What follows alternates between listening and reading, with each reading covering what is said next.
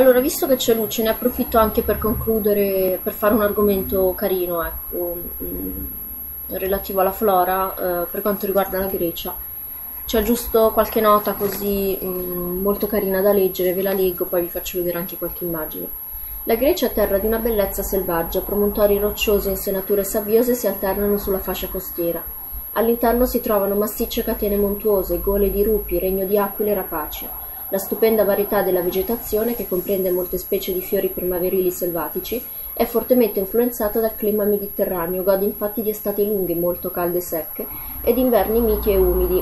Lo sfruttamento delle foreste a favore dell'attività agricola e la produzione di legname hanno determinato il sorgere di un mosaico di campi fioriti e macchie di arbusti, quelli aromatici del Macris e quelli della più degradata fri, mh, frigana. I milioni di capre sono un pericolo per la vegetazione, ma non c'è nulla di più romantico in Grecia di greggi al pascolo tra ulivi e resti archeologici, come capita di vedere a Sparta nel Peloponneso. Poi qui il libro mostra qualche immagine di paesaggio, ad esempio i paesaggi collinari con imponenti cipressi che si stagliano alti e scuri contro i ripidi pendii, sono associati ai siti archeologici della Grecia, vale la pena visitarli, compreso la città bizantina di Mistra, anche solo per le bellezze naturali, come i fiori primaverili spontanei. Vi troverete orchidee rare, margherite, papaveri e calendule. Anche se purtroppo la qualità è sempre abbastanza pessima.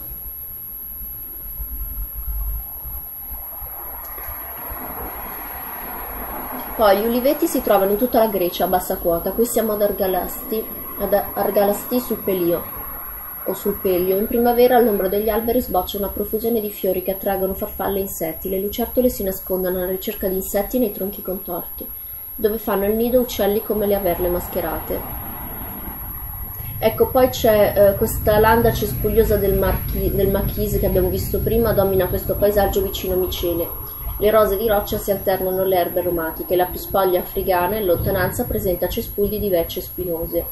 Questo è il tipico paesaggio, come vedete, un po' brullo anche se vogliamo, roccioso, dove crescono questi arbusti che abbiamo visto prima. Poi ecco, per quanto riguarda i fiori selvatici, la Grecia presenta un gran numero di piante da fiore, ne crescono almeno 6.000 specie, alcune delle quali non si trovano in nessun altro luogo del mondo. Questa ricchezza floreale si deve in parte ai vari habitat presenti nel paese che vanno dalle zone umide, dalle pianure costiere e dal basso Maquis alle cime montane innevate. Molte piante crescono in inverno, la stagione più umida e fresca, mentre il periodo di fioritura va da marzo a inizio di giugno. Le aree costiere del Peloponneso sono probabilmente le più ricche di fiori selvatici. Allora, alcune specie sono il gladiolo selvatico, che è presente in diverse varietà, il giacinto fiocco prende il nome dal suo aspetto, cresce in campi aperti. Il Chitinus hypocistis è una pianta parassita che cresce vicino agli arbusti. E il Cistus salvifolius è diffuso nel, nel Mapis. I suoi fiori colorati attraggono gli insetti impollinatori. Abbiamo poi la spodelo bianco che cresce spesso ai bordi della strada in molte zone della Grecia, e sono alte spighe con dei fiori bianchi. Vi faccio vedere qualcosa.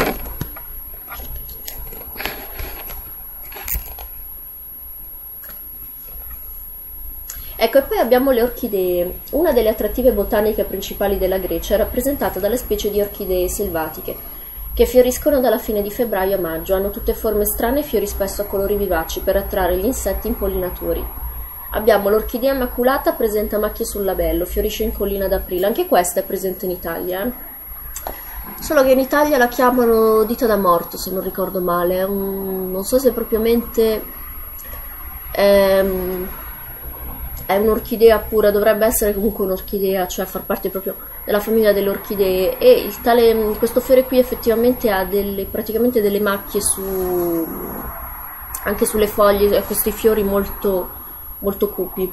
Poi abbiamo l'Orcus italica che è un folto grappolo di fiori rosa tenue, cresce nel bosco e l'Ofris spruneri, dalla forma simile a un bombo, si trova nel machis all'inizio della primavera.